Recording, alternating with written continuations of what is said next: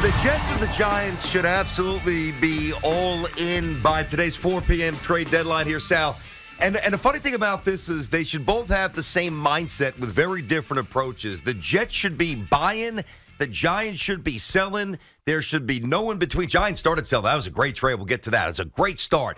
They need to continue this. And I'll tell you what, if I am Joe Douglas right now, I don't care how crazy this sounds, I'm already talking to the Raiders. You can have my first round pick. I want Davante Adams. All in. Go for it. See, I think that's a mistake for the Jets. I'm not saying you can't upgrade, and, and I'm not even saying that I wouldn't go after Davante Adams, but I don't really believe Davante Adams makes the Jets a Super Bowl contender. I think their issue is the quarterback. So I understand trying to upgrade. You know, Saleh talked about it, trying to get an offensive line or help on the offensive line. Nobody's trading those guys, which shows you how valuable good offensive linemen are. I mean, is it realistic to think a disgruntled Davante Adams could be here? I don't think it's unrealistic because you know Aaron Rodgers is pulling the string somewhere, Uh-huh. and why wouldn't he want to be teamed up? So that would be a, I mean, that's a huge, huge trade if the Jets were able to lure Davante Adams. But with Zach Wilson, I don't think they're gonna be able to take advantage of it. Well, it's also a huge, huge opportunity. You know, we've dissected this a million times. The Chiefs, they look vulnerable. The Bills don't appear to be the same team some people thought they would be coming in. You know, Miami's obviously very powerful, but let's see what happens when it gets a little chilly. Yeah, the Bengals are on the come, but yeah, they're, they're not without flaw. Like to me, there's a window here for the for the Jets to to not only you know really go all in and and and try to steal a Super Bowl appearance, but it's not it's not cavalier. And what I mean by that is like there's moves that just seem ridiculous. Like years ago, uh, I don't even know if you remember this. You're a little bit younger, but the Knicks traded Mo traded for Mo Cheeks. He was like 39, 40 years old. The old point guard who played with Dr. Jane I Moses. remember who he is. I don't remember the trade. And they gave up Rod Strickland, Right. who was like 23 I remember and Rod sick. Strickland. It was a it was a wizard. Right? Shout out to Rod. Rod Rod boys coaching now. Rod was uh, amazing. Short sighted See, I think of Rod Strickland with the Blazers more than I do Knicks. Yeah, well, he wasn't here long. He was part of the bomb Right. squad. They got rid of, went to DePaul, New York City kid. But they that was a short sighted move. The the Knicks were fooled. Like we get Mo Cheeks here, that veteran. pra- We can, no, no, it, it was the wrong move, and it was too risky. See, even if the Jets don't, if they do get Adams, and again, I'll give up a first round pick for him. I swear to God, I will. And even if it doesn't work out, Would you give up more? Would I you give up give up like a one and a three? nah, you're not getting one and a three. You're getting one, and Oh, otherwise, I mean, what if somebody else wants Davante Adams more? I mean, the Jets don't need a number one receiver; they need a number two receiver. I, but I don't think they even have like a third receiver. Like they, know, their but- receivers are awful Right, outside of Garrett Wilson. That's what I mean. They don't need a top guy. Now, I'm not saying you turn that away. Yeah. But, but for you, is it Adams or bust, or could you get somebody else in there? I mean, look, there are going to be other options to find a. I don't receiver. know. I, how many? I, what are the options? How many other receivers out there are as disgruntled? Did you see Davante Adams on national TV Right. last night? Jimmy Garoppolo threw for 119 yards. Right. I mean, as much as people complain about Zach Wilson, Zach's been better. You know, so I think Adams wants out, and and this is why it's not. It's not. Again, I've used the word cavalier. It's not cavalier. Yeah, first round pick. How do you do that midseason trade? I'll tell you why. Because number one, it might actually work out this year with Zach, or if Rodgers comes back. And even if it doesn't work out this year, you know, he's under contract next year. And like, listen, I'll tell you, if the Jets had a roster that was like aging, that's why I love what the Giants did with Leonard Williams. He's 30 years old. You know, they, they've got some big boys up front. Dexter Lawrence is great. We know about Okereke rounding into form. Thibodeaux had a great game Sunday. Let's see if this is a foreshadow the next, uh, whatever he becomes. He's been spot good in in certain spots. He has not been this. I mean, what we saw Sunday was uh, we've never seen that quite from Kayvon And by the Thibodeaux. way, a, so a part of that, and I'm not trying to take away from his big game, but a part of that was Zach Wilson holding on to the football a million, uh, like way longer than he should. Yeah, and I some of the film backed that up, but he was such a disruptive force. You, you know, I, you're not wrong. I, I looked at the same film, but you know, nine tackles, three sacks. He no, was he was great. a beast. He was He, an he absolute was an beast. absolute beast. And by the way, did you see the offsides? It I might- did. He was not offsides. Yeah, so there you go. Just- we didn't make a big deal of it yesterday. Yeah. but I mean, I think he had a good gripe there. Giants, got, hosed. They got hosed at the end. Well, I think with the spotting of the ball, And and, then apparently with the with the Kayvon Thibodeaux offsides, which was not an offsides. But like when you have somebody, and it's such a stark contrast to the Giants. Like the Jets, if you just tune it in, get every, like make massive trades, take the swing. Do not tell me that it's not worth a first. Or, how many how many picks have the Jets had over the years that we held on to like the whole diamond? All right, so first that and a never third. materialized. You're Just go for You're it. giving up a first and a third then. I'm giving what- up a first for Davante Adams. Sure. If you're going to go all in, what if I'm the Raiders and I say, yeah, you could have him, you got to give me a third round pick as well? Well, here's the: th- is there somebody else out there that's willing to give up a first and a fourth and a 1st Let's and a play- third? then you know game. what? Whatever. Okay. Let, let me rephrase. Whatever it takes to make it happen. There you go. We got a deal. There you I'm go. all in. You're all in. and I'm all in on the Giants selling because the Giants. You know, and that's why I, I love what they did. Yes, I loved. I said that they should do this. They did it. And I listen. The Giants pulled kind of a page from the Mets playbook. They basically bought a draft pick. They assumed the most of the $9 million for Leonard next year. They got a two and a five. Seattle satisfies. They're chasing it. Hey, if Seattle could go for it, which they are, Right. why can't the Jets go for it? Man, how many picks does Seattle have? I don't dude? know. I mean, they keep giving away these top picks. It's crazy what to New doing. York teams, they keep giving them Yeah, too. well, I know. Lucky the Russell Wilson trade, they uh, they got it back That's the true. other way. But anyway, yeah, I love that trade from the Giants' perspective. Now, I hate losing a player like Leonard Williams. I think he's been an impactful player, but you knew he was going to be part of the future. Yeah. And the fact that, like, if you were to tell me, and we discussed this yesterday before the trade went down, and we thought maybe like a fourth or fifth round pick for Leonard Williams, I was like, eh. But the fact that they got a number two and a number five, you know, next year. The number two, that oh, for Leonard Williams, it's amazing. yeah, you're paying for a pick. I love that move from Joe Schoen and the Giants, but it should just be the beginning. I would be open to anything other than trading Saquon Barkley. I'm not doing that. I would do that. That that's how. It, I wouldn't give away, to be clear, but that's how I am. That's that's how deeply I'm invested in the mindset for both of these teams. The Jets have a chance to do something this year. Go for it. The Giants' season is basically over. Reset the right way. You know, pile up those assets and continue to listen. If Schoen pulled off that kind of a trade with somebody who's 30 and contracts about to expire, you know, what could you get for McKinney? What could you get for some of these players? I, I am. This should be a massive trade day for the Jets and the Right, Giants. but- it really should be. But you just can't tear it down like that Why and not? have nothing left. Like I get that the wins, losses don't mean anything as far as this year goes. Giants aren't going to make the postseason. We know that. Will they be better off having a higher pick? Of course, but what about the players in the locker room? What about trying to build a culture? You trade Saquon Barkley, you are taking away the heart and soul. Not to mention what it does to Daniel Jones, who will be back this week.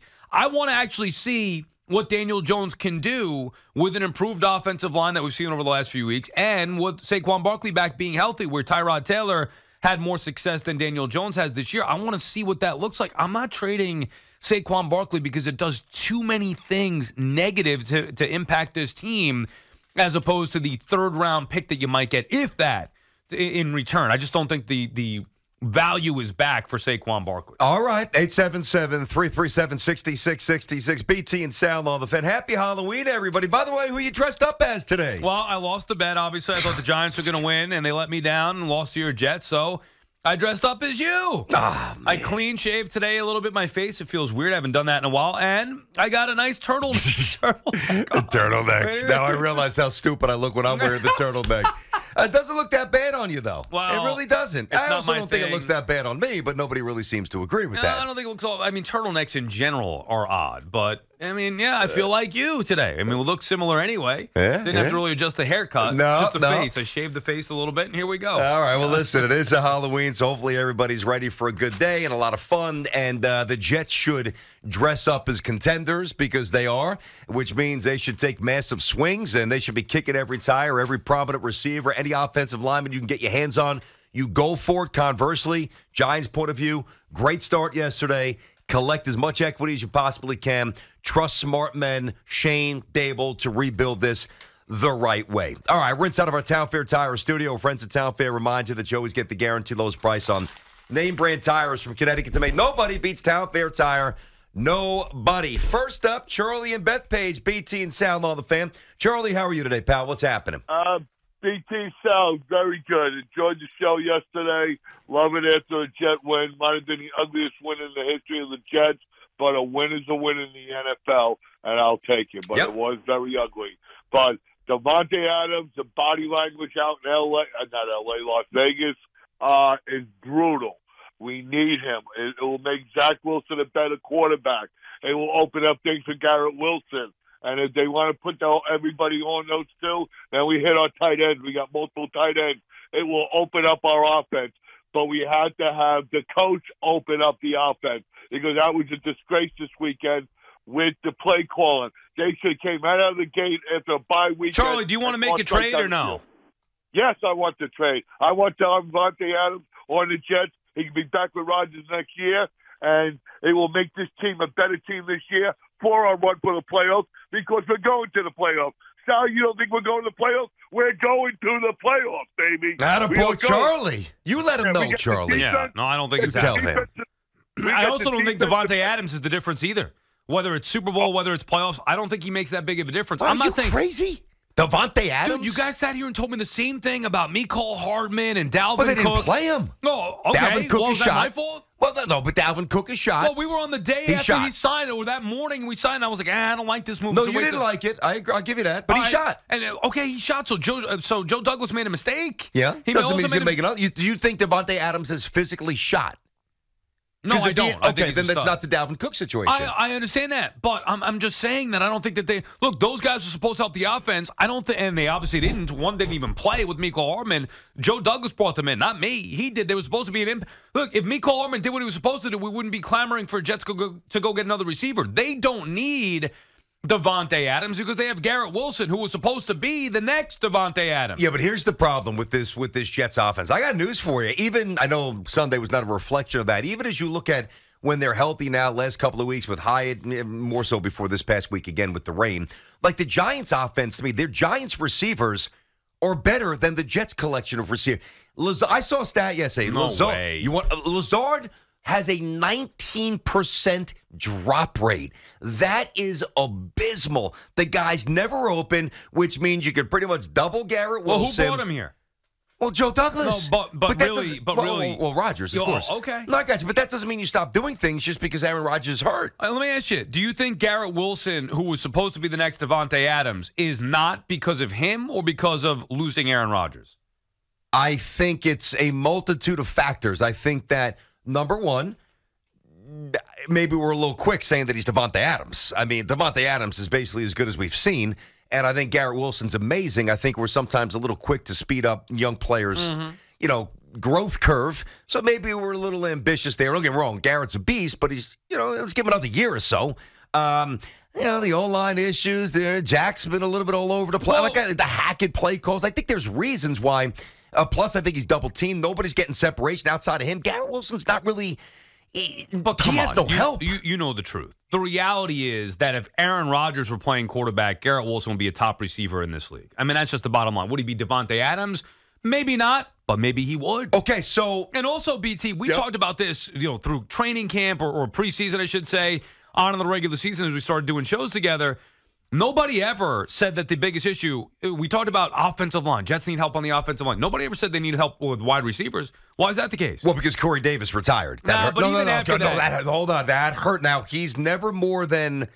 I'm not going to make him out to be more than he was. he was I'm- always dropping balls too. not Corey like. Liz- not like No, Lazard at 90 percent. I know, but the point is, Uh, Corey Davis is a big, thick-bodied, smart, you know, uh, good blocking, strong, fairly, Mm-hmm. Good fairly two short receiver, hand. yeah. Yes, I get it. great, but- really good number two. But nobody was making a huge deal about the wide receivers because the way the quarterback plays, you figure out they'll be fine. He's got his guys in there, Yeah. Lazard, even Cobb. They brought in Hardman with Garrett Wilson. It wasn't really, even with Davis retiring, and I know that some, maybe you and I discussed it too, like, ah, we shouldn't be overlooking this retirement by Corey Davis, but it wasn't like it was a glaring need. And I think the reason it's become a glaring need is because of the quarterback.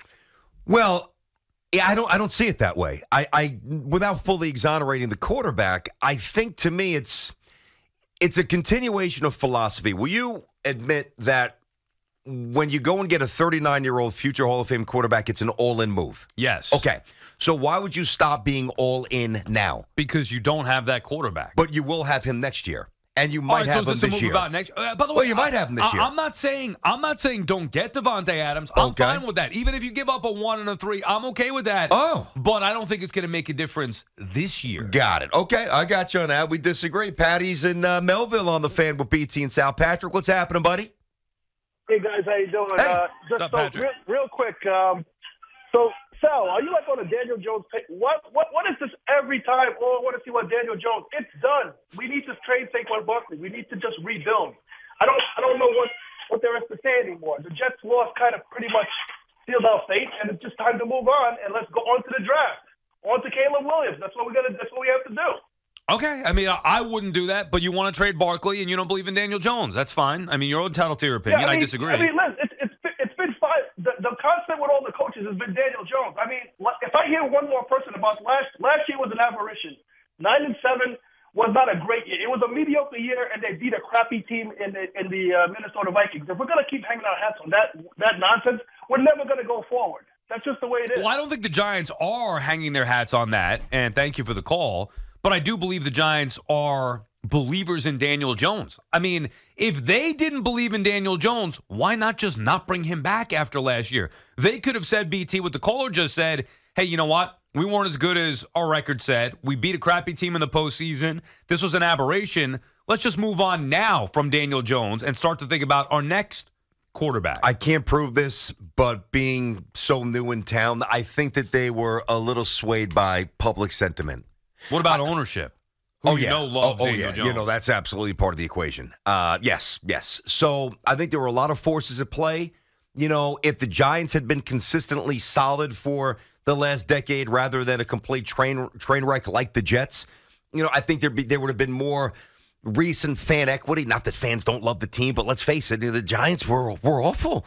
I mean, for a long time outside of last year. So I think the fact that the owners flexed, the fact that they were new in town and they stumbled, not stumbled, but they had a really um, a really impressive first year that that lit a, a fire in the fan base. I, I think it would have been almost impossible to turn away from that, even if it was the right move. Right. And by the way, I didn't say it was the wrong move signing him. I'm just saying that if they, the team, didn't believe in Jones, then Yeah. they shouldn't have brought him back, even if for just two years at $40 million a year. Yeah, but I think that you can believe in something, maybe not with full, wholehearted conviction, but you believe in it enough to make a decision based on that belief, and then shortly thereafter, change your mind. You think they've changed their minds Uh. I think they might be in the pro. Certainly why- with the injury, I think they're but terrified. why can't they still be evaluating him, which is what we're going to do now? well, that's where the with year? pa- evaluating for how long? Till he's 35 Uh, years old? When uh, does the evaluation Look, end? I'm with you, but off of last year, I, I understand it. I had him written off after la- going into last season. I was done. And then he went out there and proved me wrong. What am I supposed to do? Not Wait, acknowledge that? Like, wait, no, no, you, wait. you could say they overachieved and it wasn't like legitimate, but they did. I mean, Yeah. they got to the postseason because of Daniel Jones. So if they did that with no talent on that team in year one of Joe Schoen and Brian Daboll, Yep. why wouldn't I think that Daniel Jones could take them even further with a better team around him? Well, again, I think that that mindset was fine back then. I just think it needs to be really adjusted based on. Well, how many weeks did he play this year? So now we're going to adjust it on that. five games. Okay, No, and- but when he played, he was awful. Well, agreed. But how many of them with Andrew Thomas and how many of them with Saquon Barkley? he played with Saquon more than not. Number one, Andrew Thomas basically played half oh, the Barkley game. was out. Barkley was there for two weeks. Um, okay, so Wasn't he he- played. didn't he miss played- the Thursday night let me game? see. He, he didn't play the Niners game, so I guess he played about week three. So uh, the first two games. So he played forty percent of the year with Barkley. Last year he played the entire year with Barkley. I played mean, two I- games this year with Barkley. I'm saying, he, but he's played five. So Right. of the five games he's played, two with, have been with Barkley, so forty percent. Listen, I, I give you, it's, it's not a perfect And, and by the way, circumstance. one of them they won. I know it's hard to imagine, but Yeah. I mean they got blown out in the Cowboy game. They they beat the Cardinals, even though it wasn't a great effort from start to finish. Obviously, it was one half of football that was awful, one half that was good.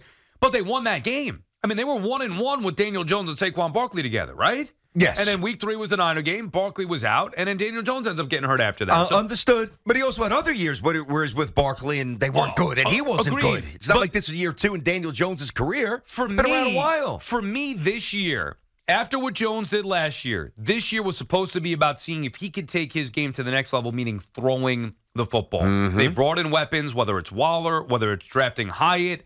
They were supposed to throw the football. We have- Robinson healthy? there you go. Robinson coming back healthy. We have not seen that. No. In part because Jones has been hurt, but also in part because he w- he wasn't doing it when he was healthy. But we're eight weeks in. He's been hurt for a bunch of them.